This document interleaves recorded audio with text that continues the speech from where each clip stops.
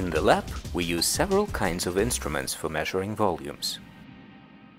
For volumes above 20 to 50 milliliters, measuring cylinders are used. For volumes between 5 and 25 milliliters, we use glass or plastic serological pipettes, together with pipette aids.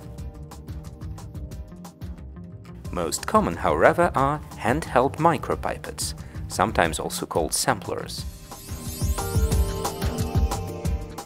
These micropipettes come in single and multi-channel variety. Most common micropipettes use air cushion principles, where the liquid and the tip of the piston inside the pipette body are separated by air.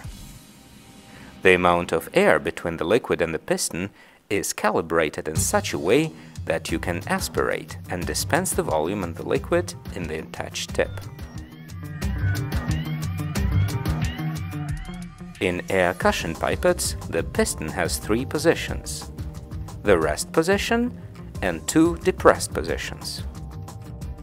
In forward pipetting, which is used for aqueous liquids and buffers, the piston should be depressed to the first stop position and then slowly released to the rest position. For dispensing, the piston should be depressed to the second stop position, which ensures that no liquid is left inside the tip. The regular pipetting routine consists of eight steps. First, you set up the required volume, then attach a single-use plastic tip, expel air, and then dip the tip into the sample. You aspirate liquid by releasing the piston to the rest position. At this point, you must inspect the liquid in the tip for presence of bubbles, residue, and then dispense the liquid into another container.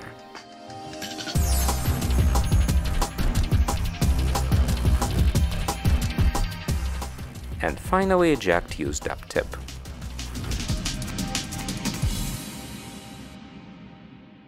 Attach tips of the correct volume. Make sure the tip is tightly attached to the pipette. At the same time, avoid putting too much pressure when attaching the tip, as this could break the shaft. Expel air by depressing the piston until first stop before dipping into sample, otherwise you will introduce bubbles.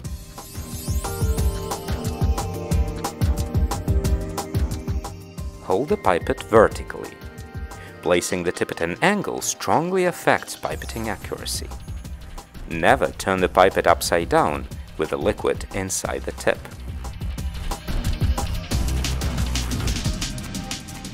For aspiration, the tip should be immersed just a few millimeters below the surface. Pre-wet the tip before aliquoting by aspirating and dispensing the liquid 2 to 3 times.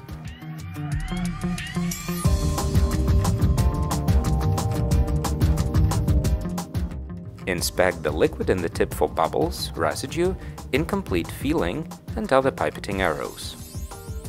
In case the tip is not full or you have any of the pipetting errors, dispense the contents and repeat aspiration. Using wrong tips is one of the most common pipetting problems. Make sure you use tips within the specified pipetting range. Another common problem is caused by mistakes when setting volume. Make sure you understand the scaling of the volumeter display. Incomplete transfer occurs when you do not see where you are transferring the liquid, or when dispensing the liquid from above the surface. Team or blind pipetting happens when one person holds the epi and the other one is pipetting. Don't do that. Blind pipetting, when you do not clearly see the liquid in the tip, results in errors and poor reproducibility.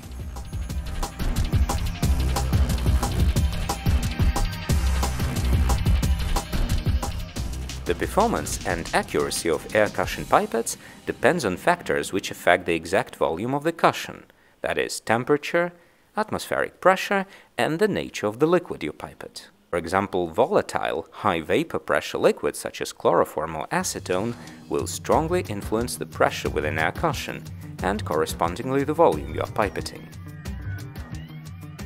To avoid these problems, so-called reverse pipetting is used for viscous and high vapor pressure liquids such as acetone or chloroform.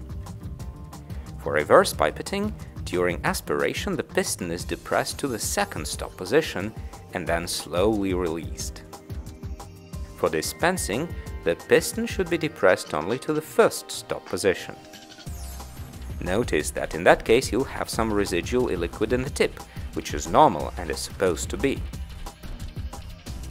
This way you may prevent foaming, ensure efficient pre-wetting of the tip inside and reduce dripping of the high vapor pressure liquids from the tip.